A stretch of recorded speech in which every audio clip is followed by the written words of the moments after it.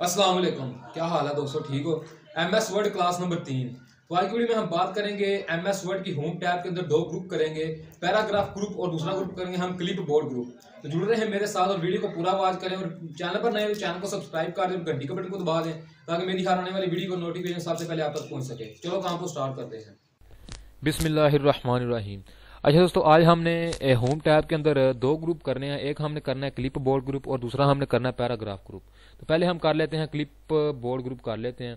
ठीक है? ये देखें, ये हमारा क्लिप बोर्ड ग्रुप है। ये वाला। तो आज हमने ये क्लिप बोर्ड करना है। सबसे पहले मैं आपको बताता चलूँ क्लिप बोर्ड का फ़ायदा क्या? है क्लिप बोर्ड का फ़ायदा ये है, अगर हम कोई भी टेक्स्ट को कॉपी करते हैं या कट करते हैं तो वो हमारा टेक्स्ट है, वो क्लिप बोर्ड में ऐड हो जाता है। अगर हम फ़र्ज़ करें हमने कोई चीज़ कॉपी किया और, हमने उसी को पेश करना हो तो हम क्लिप बोर्ड को खोल के हम उसे पेस्ट कर सकते हैं। ठीक है? तो मैं इधर कोई टेक्स्ट लिखता हूँ। ठीक है? ये मैंने टेक्स्ट लिखा और मैं इसे सिलेक्ट करता हूँ। सिलेक्ट करके मैं कट कर देता हूँ। ठीक है? राइट क्लिक करके मैं इसे कट कर दूँ। ये इधर से गायब हो गया। ठीक है? तो अब मैं क्लिप बोर्ड को ओपन करता हूँ। ओपन करने के बाद ये देखें, ये ये जो हमने अभी कट किया, ये हमारा जो टेक्स्ट है, इधर आया पड़ा है। ठीक है? अब मैं चाहता हूँ इसे मैं पेस्ट करना मैं तीर के निशान पे क्लिक करता हूँ। ये जो आप तीर का निशान देख रहे हैं, ये वाला, ठीक है? आपने सिंपली इस पे क्लिक करना है। इस पे क्लिक करने के बाद आपने पेस्ट पे क्लिक करना है तो ये देखें, हमारा टेक्स्ट जो हमने कट किया था, वो हमारा पेस्ट हो गया। तो क्लिप बोर्ड का ये फ़ायदा है, ठीक है? तो उसके बाद जनाब जी बात कर लेते हैं हम फॉर्मेट की। फॉर्मेट पेंटर की बात कर लेते हैं। ठीक है? ये आपके सामने ये इंटरफेस जो आप देख रहे हैं फॉर्मेट पेंटर का। ठीक है? तो इसका फ़ायदा क्या? है इसका फ़ायदा ये है, अगर हम किसी भी टेक्स्ट को फॉर्मेट करते हैं, किसी एक टेक्स्ट की फॉर्मेटिंग करते हैं, और हमने वही फॉर्मेटिंग किसी दूसरे टेक्स्ट में करनी हो, हमने वही फॉर्मेटिंग किसी दूसरे टेक्स्ट के अंदर करनी हो तो हम फॉर्मेट पेंटर का इस्तेमाल करते हैं। जैसे कि मैं इधर लिखता हूँ, मैं टेक्स्ट लिखता हूँ। एक अरसलान लिख लेता नीचे लिख देता हूँ, अली लिख देता हूँ, ठीक है? तो मैं अरसलान को पहले सेलेक्ट करूँगा। सेलेक्ट करने के बाद मैं इसको बोल्ड करता हूँ। बोल्ड करने के बाद मैं टैलिक कर देता हूँ अंडरलाइन कर देता हूँ, उसके बाद मैं इसको कोई अच्छा सा कलर दे देता हूँ फ़ोन कलर दे देता हूँ, और इसका साइज़ है, वो भी मैं इंक्रीज कर देता हूँ, ठीक है? ये देखें हमारे सामने ये एक फॉर्मेटिंग हो गई है। अब मैं चाहता हूँ यही फॉर्मेटिंग हमारे नीचे वाले अल्फाज में हो, नीचे वाले टेक्स्ट में हो, मैं करूँगा क्या? पहले सबसे पहले मैं असलान को सिलेक्ट करूँगा।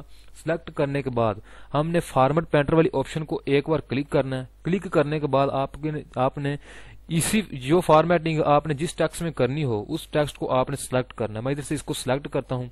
ये देखें हमारी जो फॉर्मेटिंग है, पहले वाली टेक्स्ट की जो हमारी फॉर्मेटिंग है, वही हमारी दूसरे टेक्स्ट में हो गई है।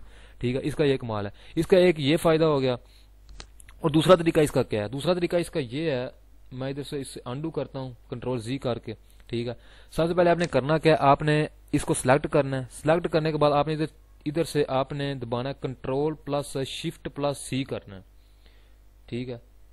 कंट्रोल शिफ्ट प्लस आपने सी करना है, ठीक है?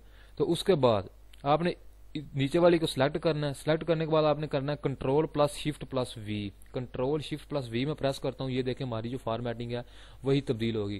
तो ये हमारा फॉर्मेट पेंटर का ये फ़ायदा है, ठीक है?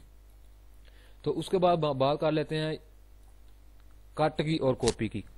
कट का क्या मतलब? कट का मतलब होता है अगर हम कोई भी टेक्स्ट को, कोई भी चीज़ को अगर हम कट करते हैं तो वो उधर से खत्म हो जाता है और जिधर हम पेश करते हैं, उस जगह जाके वो हमें मिलता है, ठीक है?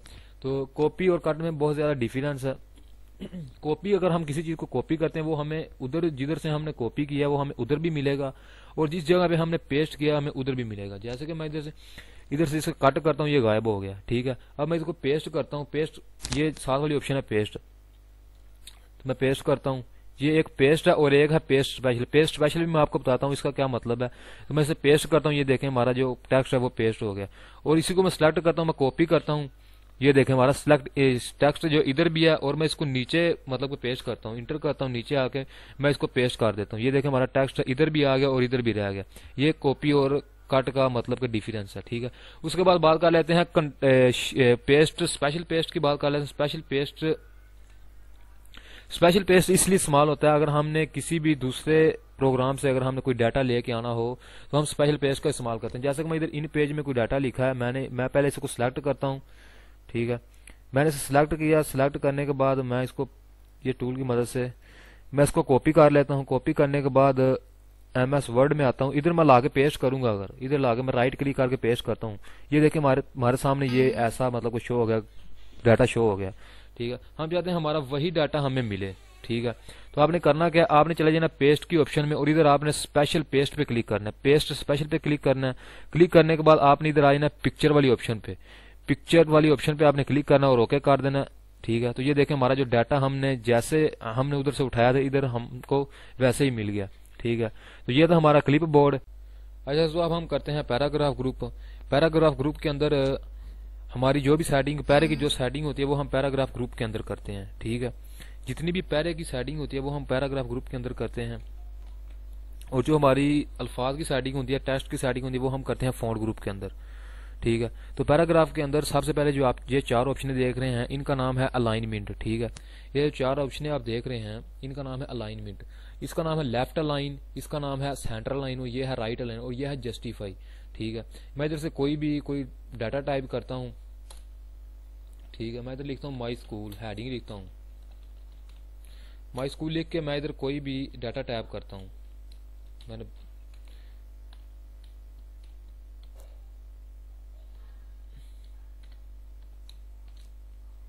ठीक है? ये डाटा है। अब मैं चाहता हूँ जो हमारा माई स्कूल है, उसको हमने सेट करना है। मैं इसको पहले सेलेक्ट करता हूँ। सेलेक्ट करने के बाद आपने इसकी हेडिंग का साइज़ है जो वो आपने 20 से 22 रखना है। ठीक है? 20 से 22 मैंने साइज़ रखा, इसको मैं बोल्ड किया। बोल्ड करने के बाद ये लेफ़्ट वाली ऑप्शन में इस्तेमाल करता हूँ तो ये जो हमारा टेक्स्ट है, वो लेफ़्ट हो जाएगा। अगर मैं सेंटर अलाइन सेंटर पे क्लिक करता हूँ, ये हमारा टेक्स्ट है, वो सेंटर में चलेगा अगर मैं राइट पे क्लिक करता हूँ राइट में आ जाएगा। अगर हमने इससे कीबोर्ड से इस्तेमाल में लाना हो तो कीबोर्ड से हम कंट्रोल प्लस ई प्रेस करेंगे। ई प्रेस करने से हमारा जो पैरा होगा, वो सेंटर में आ जाएगा। अगर हम कंट्रोल आर करेंगे, वो राइट होगा। कंट्रोल एल करेंगे तो हमारा लेफ़्ट होगा। ठीक है? कंट्रोल एल करेंगे तो हमारा लेफ़्ट होगा। ठीक है? इसका इस्तेमाल ये है। और हमने जस्टिफाई जस्टिफाई का क्या मतलब? जस्टिफाई का मतलब होता है, जैसे कि मैं ये पैरा सिलेक्ट करता हूँ। सिलेक्ट करने के बाद ये देखें, ये इस साइड से बिल्कुल बराबर है और ये इधर से कोई बराबर अमल आपको नज़र नहीं आ रहा, ठीक है? आपने करना क्या? आपने सिंपली जस्टिफाई पे क्लिक करना है। क्लिक करने के बाद ये देखें, हमारा जो पैरा है, चारों तरफ़ से बराबर हो गया, ठीक है? तो अगर हम इससे शार्ट कट में करेंगे तो कंट्रोल प्लस आप जे प्रेस करेंगे तो हमारा जो पैरा जस्टिफाई हो जाएगा, ठीक है? तो उसके बाद जो आप ये ऊपर वाली ऑप्शन देख रहे हैं उसके बाद बात कर लेते हैं ये लाइन स्पेसिंग की। इसका नाम है लाइन स्पेसिंग लाइन स्पेसिंग जैसे कि मैं इधर मैं कोई भी डाटा लिखता हूँ, ठीक है? मैं डाटा लिखते जा रहा हूँ, ये देखें। आपके सामने कितना फासला लाइनें, लाइनों का जो है मतलब के ज़ाया हो रहा है। अगर आप, हमने अपने, अगर आपको कोई कहे, आपने सिर्फ़ ट्वेंटी ट्वेंटी सिक्स लाइनों में आपने अपना जो डाटा वो टाइप करना है वो एक ही पेज में। अगर हम ऐसे लिखें तो हमारे दो पेज ज़ाया हो जाएँगे, एक पेज पे तो हमने करना क्या? हमने सबसे पहले डाटा को सिलेक्ट करना है। सिलेक्ट करने के बाद हमने लाइन स्पेसिंग वाली ऑप्शन को क्लिक करना है। लाइन स्पेसिंग वाली ऑप्शन को क्लिक करने के बाद आपने आ जाना है। लाइन स्पेसिंग ऑप्शन के अंदर आना है। इसके अंदर आने के बाद आपने सिंपली क्या करना है? आपने आ जाना डू नॉट एड स्पेस के अंदर। इस वाली ऑप्शन को आपने चेक कर देना है। ठीक है? इस पे टिक कर देना है। तो आपने सिंपली ओके करना है। ये देखें, हमारा जो फासला है वो कम हो गया। ये आप देख लें हमारा जो जो लाइनों का स्पेस थी, वो खत्म हो गया ठीक है? इसका काम यह होता है। उसके साथ वाली ऑप्शन है शेडिंग हमने किसी भी पैरे को हाईलाइट करना हो, किसी भी पैरे का फिल कलर करना हो तो हम शेडिंग के ऑप्शन को इस्तेमाल करते हैं। सबसे पहले मैं इसे सिलेक्ट करता हूँ। सिलेक्ट करने के बाद मैं शेडिंग के ऑप्शन में जाता हूँ। इधर से मैं कोई भी फिल फिल कलर करता हूँ। जैसे कि मैं येलो कलर करता हूँ। ये देखिए हमारे जो पैरे का कलर है वो येलो हो गया। किसी भी अगर हमने टेक्स्ट का, किसी भी पैरे का फिल कलर करना हो तो हम शेडिंग के ऑप्शन का इस्तेमाल करते हैं। उसके बाद अगर आपको कहे कि आप, आपने इस पैरे को चारों तरफ़ बॉर्डर लगाना है, ठीक है? तो हम क्या करेंगे? पैरे को सिलेक्ट करना है। सिलेक्ट करने के बाद आपने इधर आना है आल बॉर्डर पे क्लिक करना है। तो ये हमारा बॉर्डर चारों तरफ़ हमारा बॉर्डर लग गया, ठीक है? अगर आप इसी पैरे को अगर कोई बॉर्डर लगाना चाहते हैं, कोई और बॉर्डर लगाना चाहते हैं तो सबसे पहले आपने करना क्या? आपने इस पैरे को सिलेक्ट करना है, ठीक है? सिलेक्ट करने के बाद आपने इधर ऑप्शन बॉर्डर वाली ऑप्शन में आना और आपने एंड वाली ऑप्शन पे चले जाना है बॉर्डर एंड शेडिंग के ऑप्शन में। और इधर से आप कोई भी मतलब कि बार्डर लगा सकते हैं। ये आपके सामने जो काफ़ी ज़्यादा बार्डर वगैरह आ गए तो मैं इधर से ये अप्लाई करता हूँ और बॉक्स पे क्लिक करता हूँ और ओके करता हूँ। ये देखें, ये आपके सामने ये बार्डर लग गया ठीक है? अगर बार्डर को ख़त्म करना है तो आपने इससे सिलेक्ट करना है। सिलेक्ट करने के बाद आपने बार्डर के ऑप्शन में जाना है और आपने नो बार्डर कर देना ये हमारा जो बार्डर है, वो ख़त्म हो गया, ठीक है? तो उसके बाद बात कर लेते हैं ये ऊपर वाली ऑप्शन की। इनका नाम है नंबरिंग एंड बुलेट्स ठीक है? अगर हम कोई भी पेपर वगैरह कंपोज करते हैं तो ये ऑप्शनें हमारी उधर काम की आती हैं, ठीक है।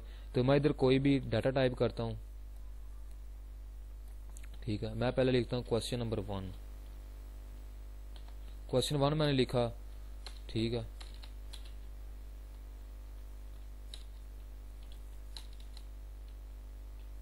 राइट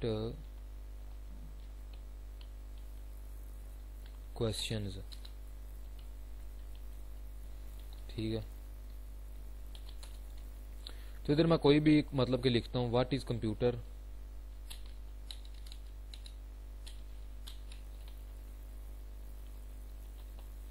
ठीक है, उसके बाद लिख देता हूँ व्हाट इज़ रैम उसके बाद लिख देता हूँ व्हाट इज़ यूज़र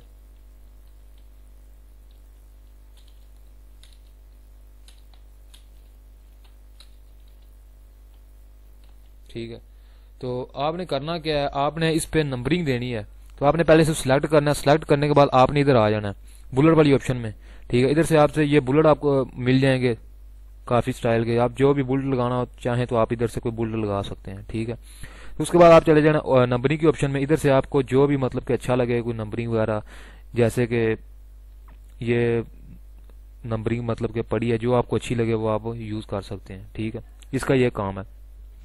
उसके बाद ये इसका नाम है डिक्रीज इन डेंट और इसका नाम है इंक्रीज अ डेंट ठीक है? इसका क्या क्या काम है? अगर हम फ़र्ज़ करें कोई लेटर वगैरह लिखते हैं। जैसे मैं इधर लिखता हूँ लेटर ठीक है? तो आपने करना क्या है? अगर आप स्पेस करके जाएँगे, आपने राइट साइड पे डाटा टाइप स्पेस करके जाएँगे तो बहुत ज़्यादा टाइम लगेगा, ठीक है? अगर आप टैब करके जाएँगे तो फिर भी कोई फ़ायदा नहीं। टैब मतलब कि अगर हम इधर टैब करके जाते हैं यदि हम कोई अपना डाटा मतलब टाइप करते हैं एग्जामिनेशन हॉल वगैरह डाटा टाइप करते हैं तो हम इंटर करते हैं तो दोबारा फिर हमारा जो जो हमारा कर्सर है वो पीछे आ गया। तो हम इंडेंट की ऑप्शन इंक्रीज इंडेंट के ऑप्शन को इस्तेमाल करेंगे। ये देखें। मैं इसको इस्तेमाल करता हूँ। अब मैं इधर कोई डाटा टाइप करता हूँ। टैप करता हूँ, मैं इंटर करता हूँ। तो ये हमारा जो कर्सर है, इधर ही हमारा रुक गया, ठीक है? हमारा डाटा टाइप हो रहा है। अगर हमने डाटा टाइप कर लिया तो हमने बैक जाना है तो हम डिक्रीज इन डेंट की ऑप्शन को इस्तेमाल करेंगे। ये देखें जो हमारा कर्सर है, वो हमारा पहली वाली अपनी जगह पे आ गया, ठीक है? तो उसके बाद, अगर आपने आपने कोई डाटा टाइप किया है, कुछ भी मतलब कि टाइप किया अगर आप उसमें, आपने क्या क्या इस्तेमाल किया है, जो आपने इंटर इस्तेमाल किया है स्पेस इस्तेमाल किया उसको अगर आपने देखना चाहें तो जैसे कि मैं इधर कोई डाटा टाइप करता हूँ ठीक है। ये मैंने मतलब कि डाटा लिखा मैं टैप टैप करके आगे जाता हूँ। आगे जाके मैं इधर कोई और डाटा लिखता हूँ। ठीक है। तो दोबारा फिर मैं टैप कर इंटर करता हूँ। इंटर करने के बाद मैं फिर कोई इधर डाटा लिखता हूँ तो मैं टैप करके आगे जाता हूँ।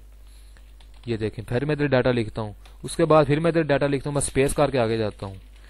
ठीक है। स्पेस करके आगे जाता हूँ, मैं डाटा टैप करता हूँ। अब हमने चेक करना कि हमने क्या क्या चीज़ इस्तेमाल की मैं इसको सिलेक्ट करता हूँ। सिलेक्ट करने के बाद मैं इधर जो ऑप्शन है हाई एंड शो वाली ऑप्शन है। ठीक है? इसको आपने क्लिक करना ये देखें। ये आपके सामने सारी ऑप्शन शो कर रहा है। ये टैब की ऑप्शन शो कर रहा है। उसके बाद ये इंटर की ऑप्शन शो कर रहा है। ये हमारी स्पेस के ऑप्शन को शो कर रहा है। ठीक है? तो ये था हमारा आज का लेक्चर मैं उम्मीद करता हूँ आपको मेरे अमल की समझ आ गई होगी। अगर वीडियो अच्छी लगी तो वीडियो को लाइक कर दें और कमेंट सेक्शन में जाके अपनी राय का सहार दें। तो मिलते हैं नेक्स्ट वीडियो में। तब तक करिए अल्लाह हाफिज़।